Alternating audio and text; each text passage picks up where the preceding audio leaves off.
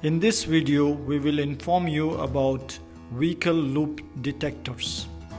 Traffic signals in Dubai have detectors in each lane just before the stop line of every intersection.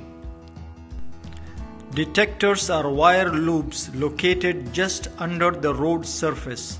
You can see the outline of the loops at most intersections. The loop detectors work by sensing the metal in vehicles. This enables the system to know that vehicles are waiting at the intersection and thus send a signal to the controller cabinet which in turn sends a command to the traffic light to turn green. Let's demonstrate how the loop detector works. You can see that the vehicle approaches the intersection but stops before the area of the loop detector and so the traffic signal remains red because it does not sense any vehicle waiting at the intersection.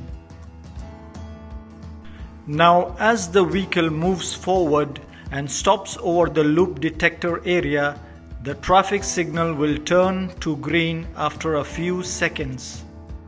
Realize that the traffic light will not turn green immediately because it will take a few seconds for traffic in the other directions to come to a stop.